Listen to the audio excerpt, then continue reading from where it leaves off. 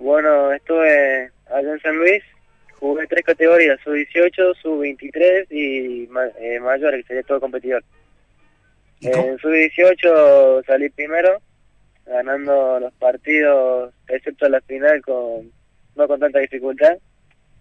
Y en sub-23 pude llegar a la final, y donde salí campeón, ganándole al mendocino Nicolás Lara, eh, que me había ganado el, el año pasado en la final de los binacionales. Bueno, una tarea excelente, ¿no? Te fue muy bien.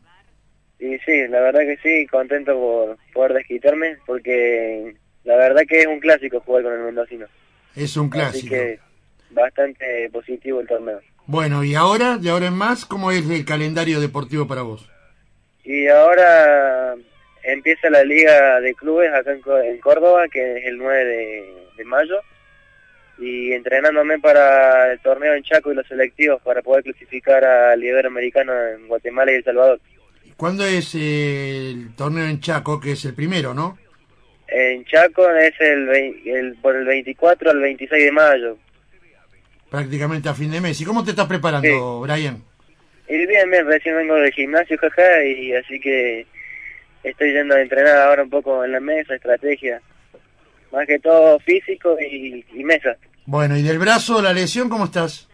Bien, bien, mejorando. Todos los días va mejorando. Bueno, Brian, queríamos que nos contés unos minutos cómo, cómo era, cómo te había ido. Sabíamos que te había ido muy bien. Gracias a que nos, eh, por las redes sociales nos, nos avisaste el pasado fin de semana. Eh, felicitaciones y seguí adelante porque, como te dije y como te lo digo cada vez que te entrevisto, estás haciendo una carrera formidable. Bu- Bueno, Rubén, muchas gracias a vos también por estar presente en todo esto. Te mando un gran abrazo. Dale, nos vemos. Un abrazo.